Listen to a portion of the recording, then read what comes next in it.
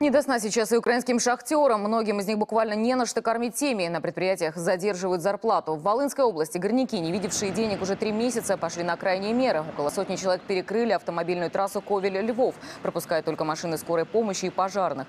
Другая группа шахтеров отправилась в Киев. Если их требования не выполнят, обещают устроить бессрочную голодовку под окнами администрации президента Порошенко.